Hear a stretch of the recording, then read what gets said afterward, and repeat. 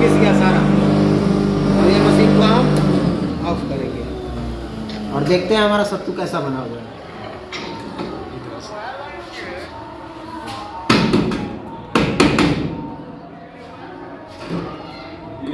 छोटा वाला है ना।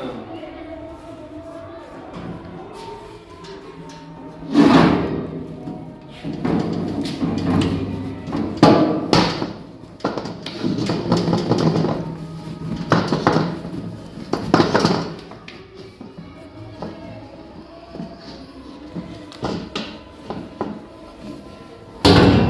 और ये देखिए हमारा सत्तू। कैसा पिसा है सर? बहुत अच्छा।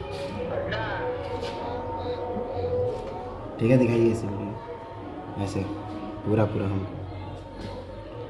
पूरा दूर जाके। दूर।